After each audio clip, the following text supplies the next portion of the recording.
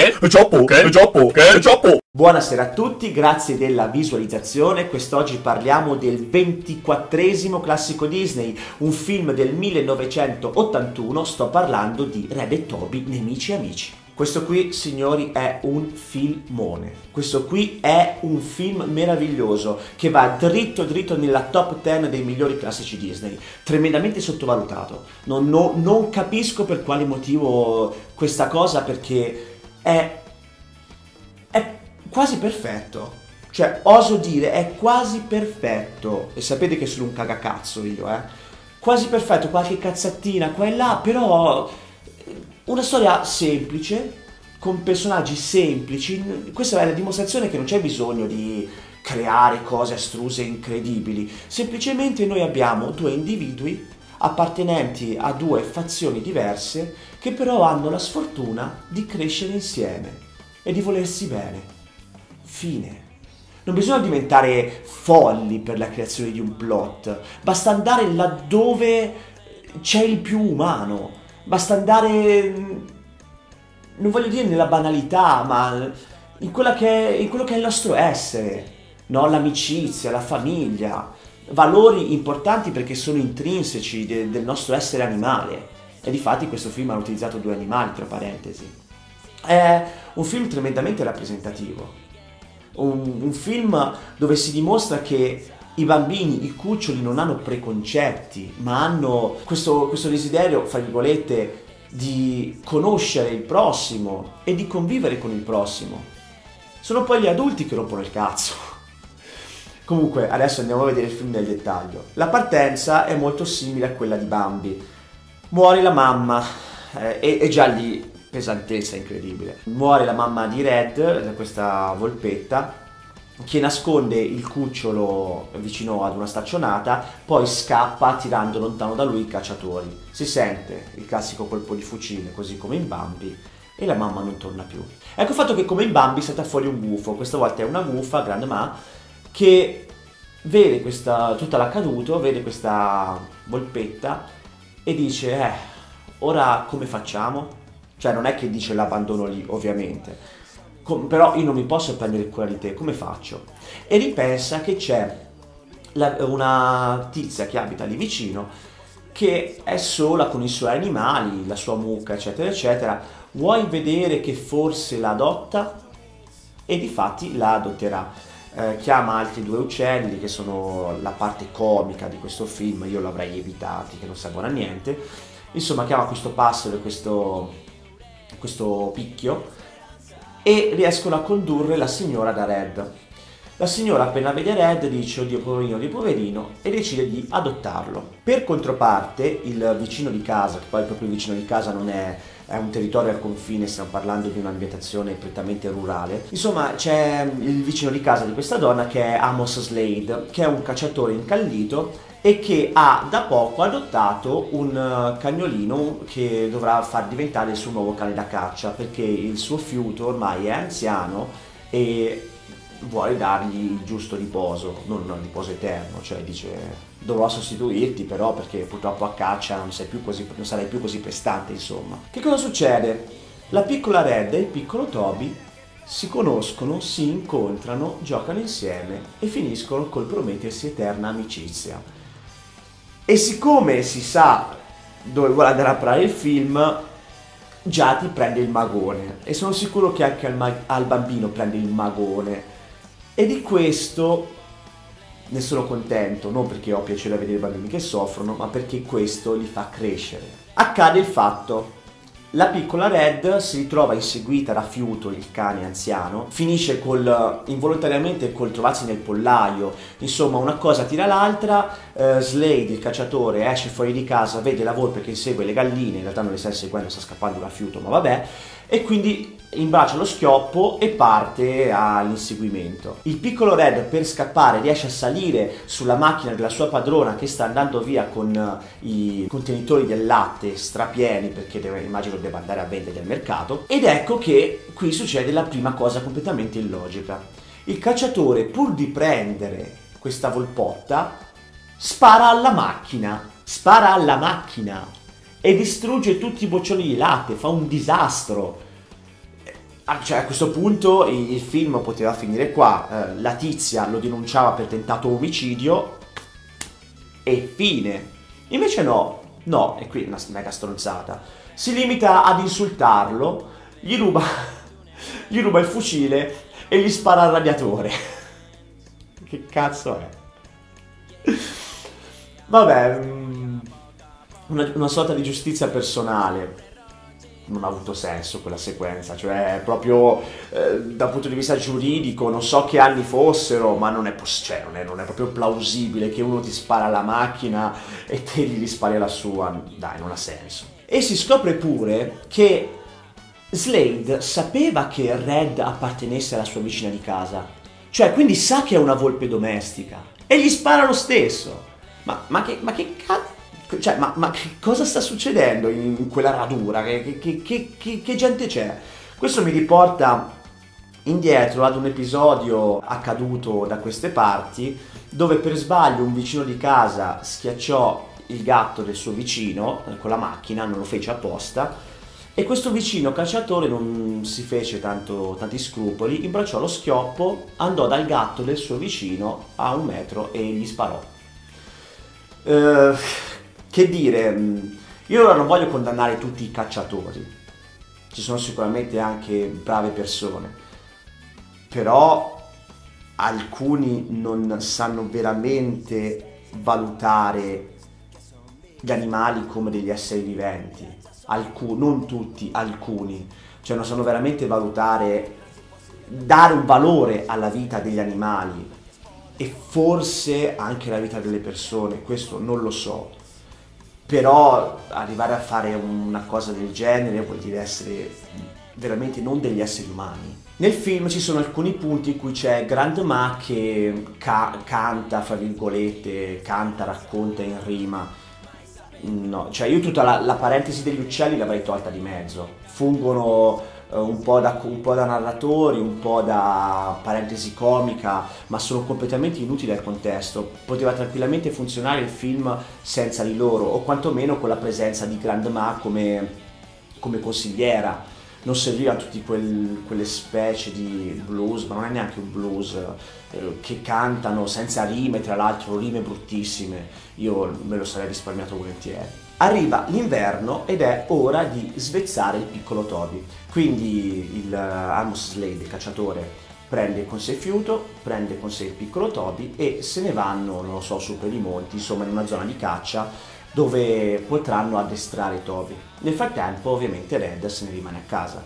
Quindi passa l'inverno, con il ritorno della primavera sono entrambi cresciuti e mentre Red pensa, spera che non sia cambiato niente, Invece Fiuto, in Fiuto qualcosa è cambiato. In realtà vuole sempre bene a Red, però ha preso coscienza della sua condizione di cane da caccia. Quindi quando si, Red va a salutarlo, quando si incontrano gli dice Red è meglio se non ti fai più vedere perché purtroppo io sono un cane da caccia, noi non, non possiamo essere amici. È pesante ed è bello perché un bambino che vede una roba del genere dice ma perché non possono essere amici? Che cosa te lo impedisce? E cominciano a creare delle strutture. È, molto interessante questo film, qualsiasi bambino dovrebbe vederlo. Slade becca la volpe di nuovo nella sua proprietà. Ovviamente cosa fa? Imbraccia lo schioppo, parte all'inseguimento della volpe assieme a Fiuto e, anche a Toby ovviamente. Fiuto ne perde le tracce, mentre invece Toby riesce a stanarlo, trova Red nascosto sotto a della legna, non mi ricordo cosa. Però dice Toby, per questa volta te la lascio passare e depista Slade, ma nel frattempo Fiuto riesce a beccare Red ed ecco fatto che c'è questo punto sul ponte, passa un treno, c'è Red che riesce a salvarsi, ma Fiuto io avrei preferito... No, fiuto no, va di sotto e si rompe una zampa. All'inizio mi sembrava fosse morto. E tra parentesi, se era morto io gridavo già il capolavoro totale. Lo grido anche adesso, eh, sia chiaro. Però la morte così era veramente proprio, non, lo so, eh, un avanzamento di stile incredibile soprattutto dal punto di vista di quella che è sempre stata è sempre stato il modus operandi Disney, no?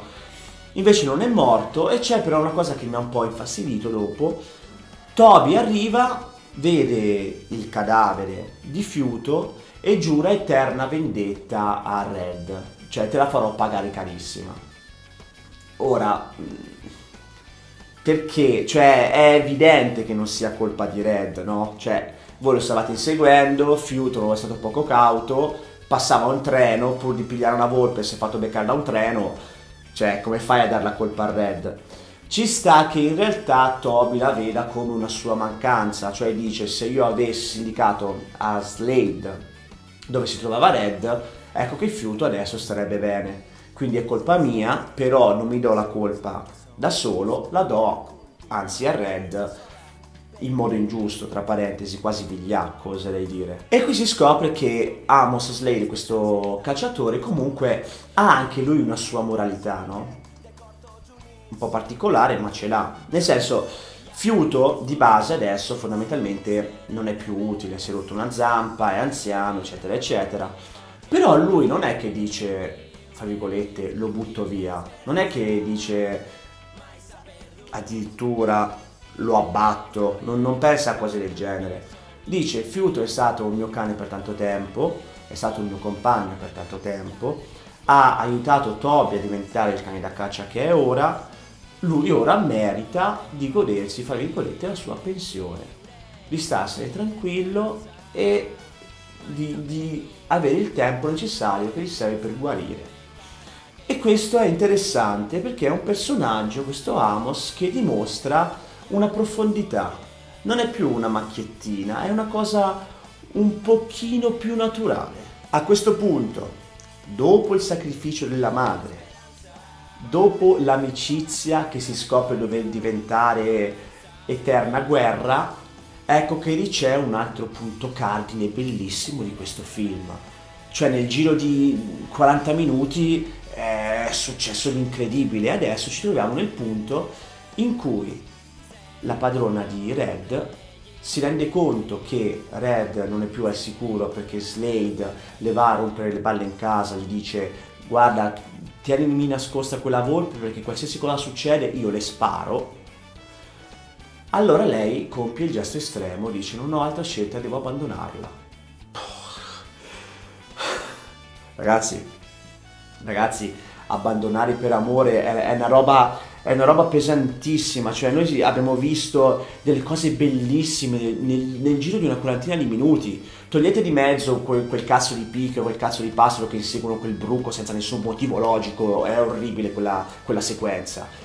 Però Boia abbandona il suo animale domestico per salvargli la vita se ne vedranno altre, se ne, so, se ne sono già viste, però strutturato così è realizzato veramente bene. L'unica cosa, cazzo, in tutti i momenti in cui potevi abbandonarla, proprio gli attimi prima di una mega tempesta, eh sì, perché abbandona Red all'interno di una riserva di caccia dove tecnicamente dovrebbe essere al sicuro, però poco prima di un mega temporale, un'alluvione incredibile, cioè potevi aspettare almeno un giorno? Potevi? Red è praticamente per la prima volta che si ritrova da solo all'interno di una foresta e non sa troppo bene come muoversi. Granma che cosa fa? Va in sua ricerca, ben consapevole che avrebbe finito con l'aver bisogno di aiuto. Pensa di averlo trovato, ma in realtà trova Vicky. Vicky, che è una volpe femmina, e eh, gli dice hai mica visto Red? Sai è un bel tipo. E questa qui subito come in Bambi ingrifatissima dice ah oh dimmi un po' dov'è questo Red. Insomma di nuovo è la femmina che va alla ricerca del maschio. Comportamento animale non proprio precisissimo. Però di base quando si trovano c'è anche Red che comincia a fare il bello, io so pescare, eccetera, eccetera, poi fai delle mega figure di merda, si, pe- si pestano. In realtà quella fase lì l'hanno, l'hanno elaborata non troppo bene. Io avrei preferito, visto che hanno tanto lavorato sui, sui sentimenti degli altri personaggi, sulla loro caratterizzazione, avrei preferito che soprattutto la fase del, dell'innamoramento di Red, in cui lui comincia a crearsi una famiglia, ehm, l'avrei preferito più elaborato, invece l'hanno un pochino tirato via. L'hanno tirata via perché? Perché Slade non è mica un coglione Slade se n'è accorto che la vicina di casa è partita con la volpe ed è tornata senza e ha fatto 2 più 2, ha detto ok, l'ha lasciata alla riserva di caccia. Quindi non c'è il tempo utile per far vedere i rapporti fra Red e Vicky, è necessario che intervenga subito l'antagonista. Slade arriva, se ne sbatte i coglioni del filo spinato, taglia tutto, entra dentro, ovviamente soltanto con Toby perché il fiuto è a casa con la gamba rotta, e comincia a studiare un po' la situazione. Vede le tracce, capisce che non è da solo, capisce dove si trova la sua tana, quindi comincia a proprio a cacciare nel modo più illegale possibile, quindi piazza trappole, piazza le tagliole, eccetera, eccetera. E si prepara per dargli il colpo di grazia non appena attraversa eh, quel, quel passaggio pieno di trappole per andare a bere, ad abbeverarsi. Ecco fatto che la fortuna vuole che Red non cada nelle trappole. E allora parte in inseguimento con Toby c'è il punto in cui cercano di stanarli però non ce la fanno riescono a fuggire. Slade sta per sparargli una zampata viene disarmato salta fuori un mega cazzo di orso grizzly e mo sono cazzi tuoi bimbo. Eh sì perché lì penso che se la siano goduta un po' tutti no?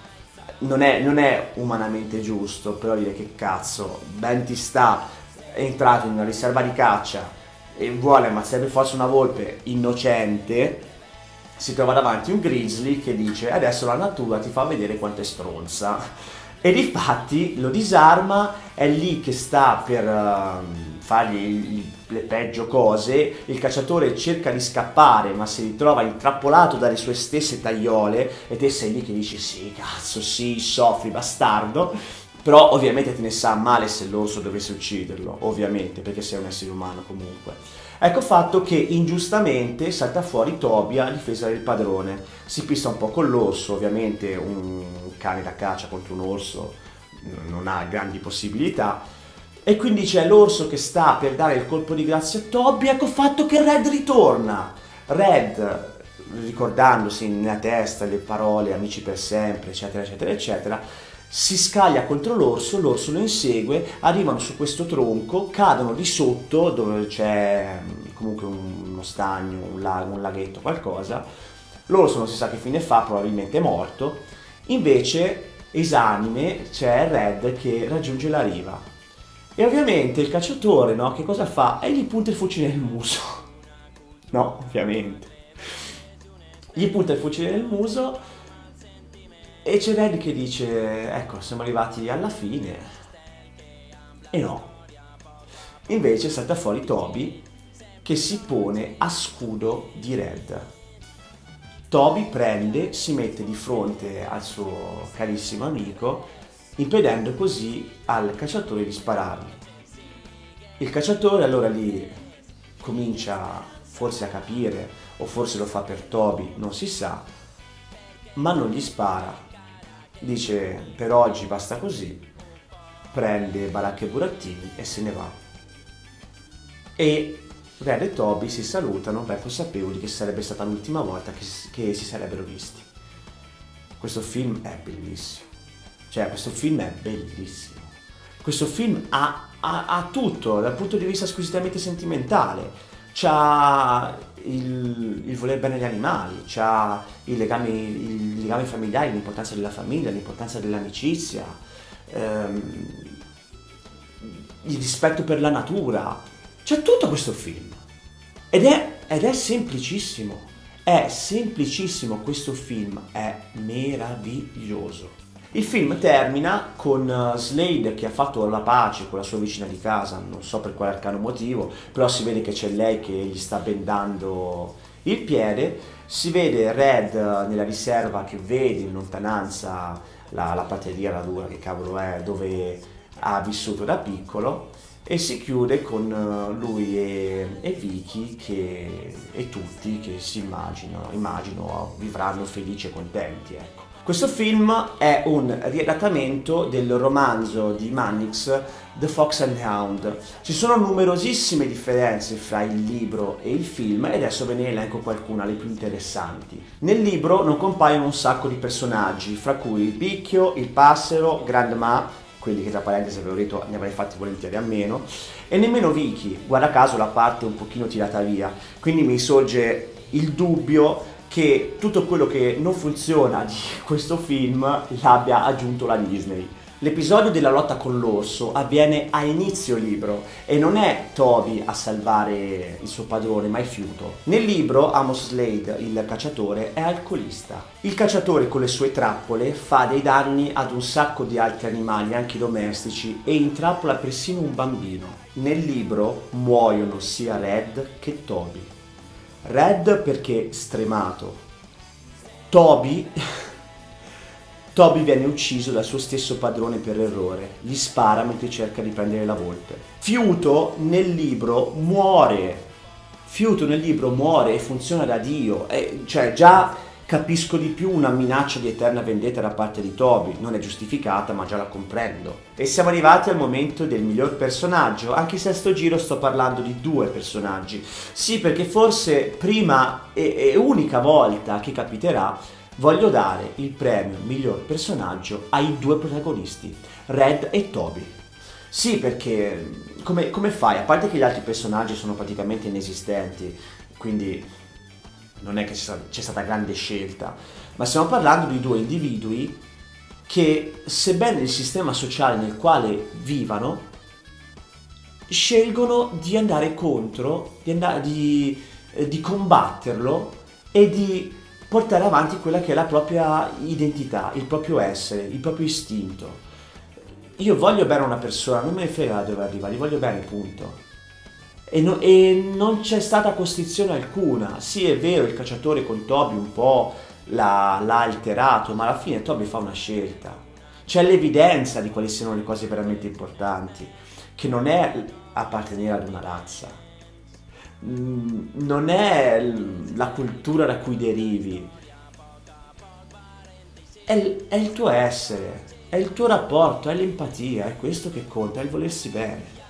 Quindi signori, a sto giro i due protagonisti sono i due migliori personaggi. Signori, da che c'è poi tutto, se siete d'accordo con me un bel mi piace, se non siete d'accordo un bel mi piace lo stesso, ci vediamo con il prossimo classico Disney. Perché sapere encara que son mis seres